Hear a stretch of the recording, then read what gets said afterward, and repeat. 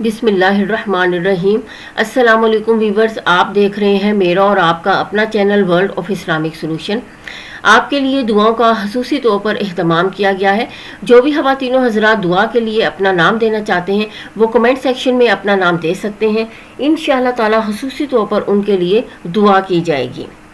آج میں آپ کو محرم الحرام میں عاشورہ کے دن کی عظمت اور اس دن سارا سال رزق میں کشادگی والا عمل بھی بتاؤں گی اور محرم الحرام کے نوافل اور عشورہ کے دن روزہ رکھنے کے فضیلت بھی بتاؤں گی اور دس محرم کو یتیم کے سر پر شفقت کا ہاتھ رکھنے سے اللہ پاک آپ کو کیا کمال عطا فرمائیں گے وہ بھی انشاءاللہ تعالی آپ کو اس ویڈیو میں پتا چلے گا۔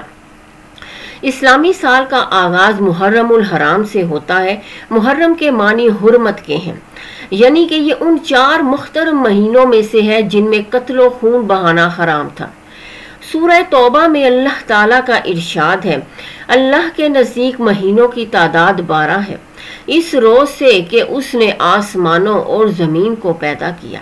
اللہ کی کتاب میں سال کے بارہ مہینے لکھے ہوئے ہیں۔ ان میں سے چار مہینے ادب کے ہیں۔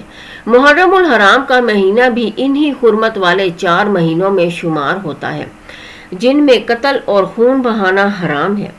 جس کا تذکرہ اللہ تعالیٰ نے قرآن پاک میں ارشاد فرمایا ہے۔ اسی محرم کی دسویں تاریخ کو عاشورہ کہا جاتا ہے۔ ابن عباس رضی اللہ تعالیٰ عنہ روایت کرتے ہیں کہ جس نے عاشورہ کا روزہ رکھا، اسے دس ہزار شہیدوں، دس ہزار حاجیوں اور عمرہ کرنے والوں کے برابر ثواب دیا جائے گا۔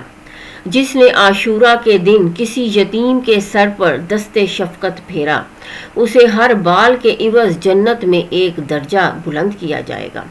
جس نے عاشورہ کا ایک روزہ افطار کروایا، گویا اس نے پوری امت محمدیہ صلی اللہ علیہ وسلم کا روزہ افطار کروایا اور سب کو پیٹ بھر کر کھانا کھلایا۔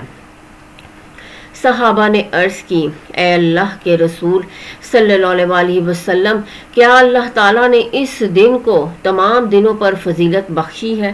فرمایا ہاں۔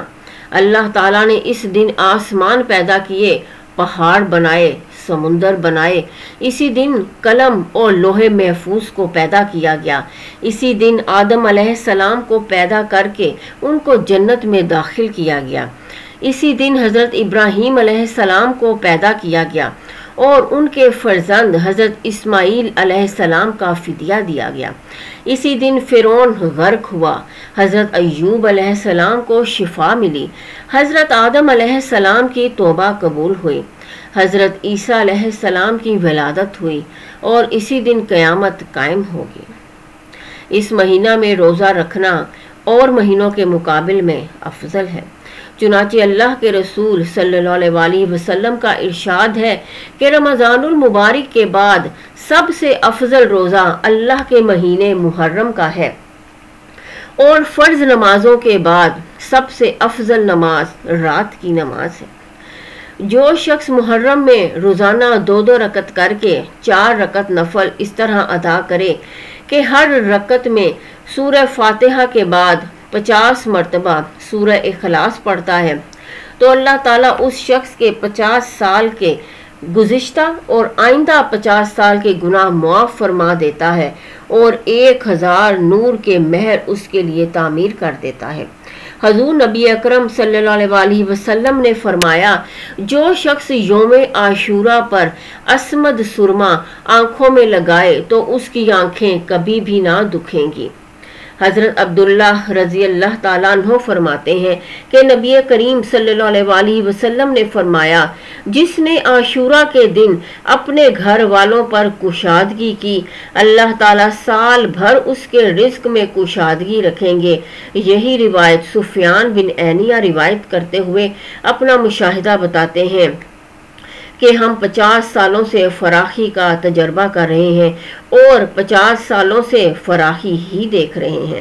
حضرت ابن عباس رضی اللہ تعالیٰ عنہ سے روایت ہے کہ نبی کریم صلی اللہ علیہ وآلہ وسلم نے فرمایا، جس شخص نے محرم کے پہلے دن اور آخری دن کا روزہ رکھا، اس نے جانے والے سال کو روزہ کے ساتھ ختم کیا اور آنے والے سال کو روزہ کے ساتھ شروع کیا اور یہ روزے اس کے لیے پچاس سالوں کا کفارہ بن جائیں گے۔ حضرت علی رضی اللہ تعالیٰ عنہ نے اس سے فرمایا، ایک دن میں اللہ کے رسول صلی اللہ علیہ وسلم کے پاس بیٹھا ہوا تھا کہ ایک ایک شخص نے آپ صلی اللہ علیہ وسلم سے یہی سوال کیا۔ آپ صلی اللہ علیہ وسلم نے جواب میں یہی ارشاد فرمایا اگر تم رمضان المبارک کے بعد کسی مہینہ کا روزہ رکھنا چاہتے ہو، تو ماہ محرم کا روزہ رکھو، کیونکہ وہ اللہ تعالیٰ کا مہینہ ہے۔ اس مہینہ میں اللہ تعالیٰ نے ایک قوم کی توبہ قبول کی ہے اور دوسری قوموں کی توبہ بھی قبول فرمائے گا۔ مسند احمد میں اس حدیث پاک صلی اللہ علیہ وسلم کا حوالہ موجود ہے۔ ویورز مجھے امید ہے کہ آپ کو میری آج کی ویڈیو پسند آئی ہوگی۔ ضرور لائک اور شیئر کیجیے گا۔ اور اگر آپ ہمارے چینل پر نئے ہیں تو چینل کو سبسکرائب کر دیں۔ اور ساتھ ہی بیل آئیکن کے بٹن کو ضرور پریس کیا کریں تاکہ میری ہر نئی آنے والی ویڈیو سے آپ مستفید ہو سکیں۔ شکریہ، اللہ حافظ۔